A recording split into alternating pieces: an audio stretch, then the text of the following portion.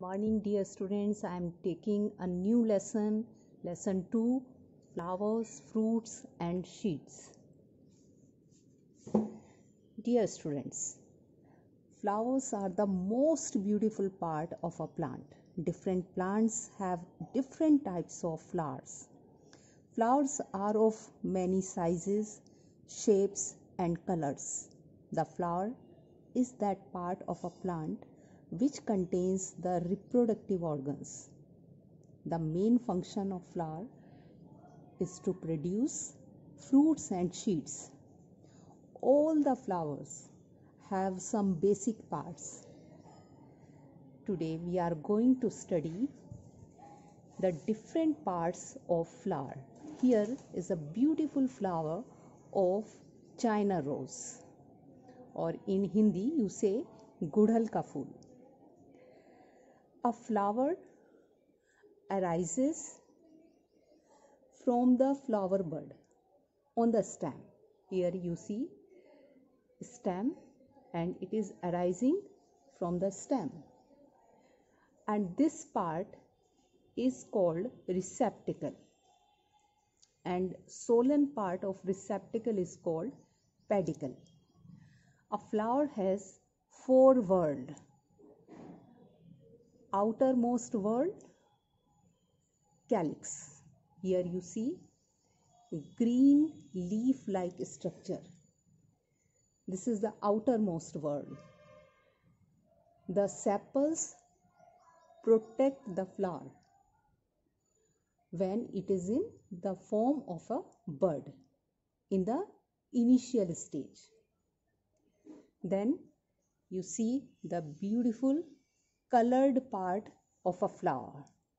This part, this second whorl of a flower is called corolla.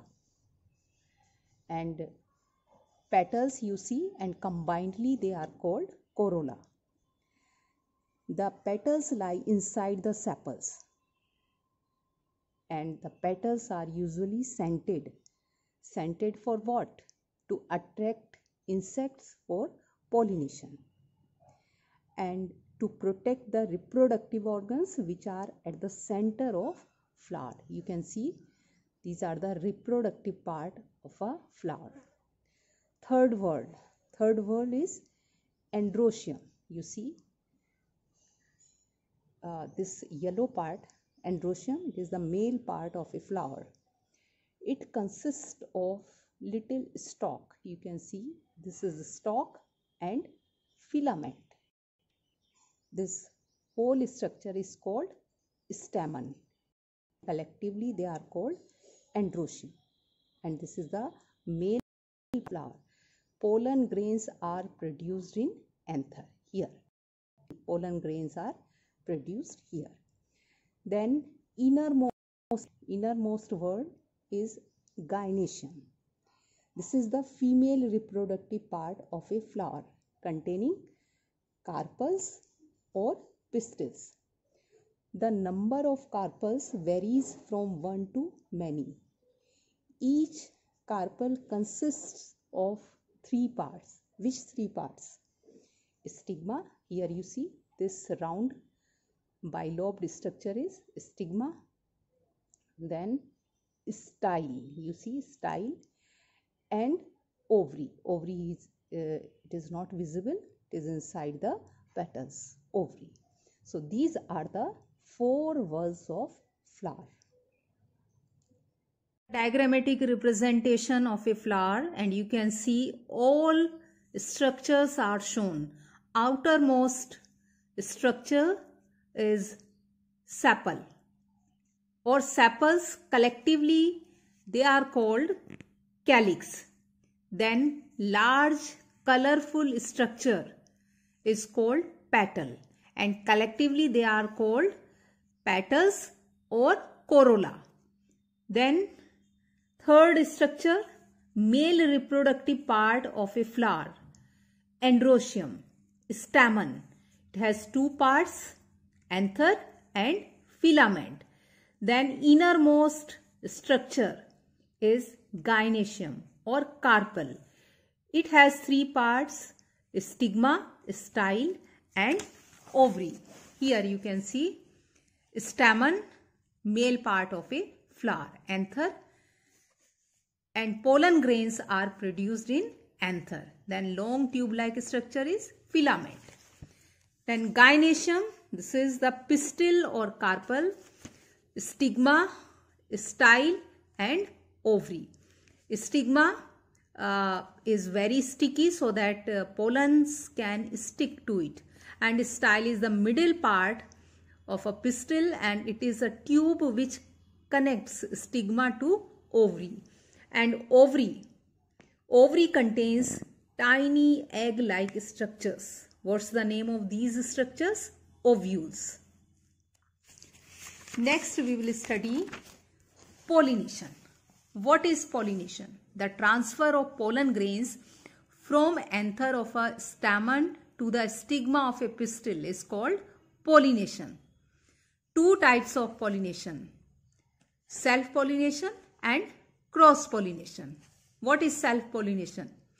When the pollen grains from anther of a flower are transferred to the stigma of the same flower or another flower on the same plant it is called self-pollination.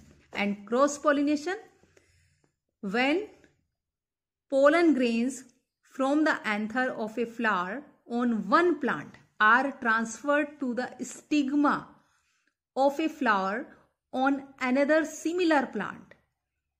This process is called cross pollination and pollination is done by insects, wind and water pollination by insects like bees and butterflies. The insect pollinated flowers have large, bright colored and scented petals. Why?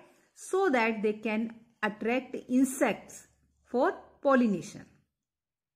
Like sunflower, marigold, jasmine, bougainvillea. They have large, bright colored petals. Then pollination by wind. You see here the blowing wind carries pollen grains from one flower to other flowers and helps in pollination. And wind pollinated flowers don't have large brightly colored and scented petals or nectar. Why? Because they don't have to attract insects.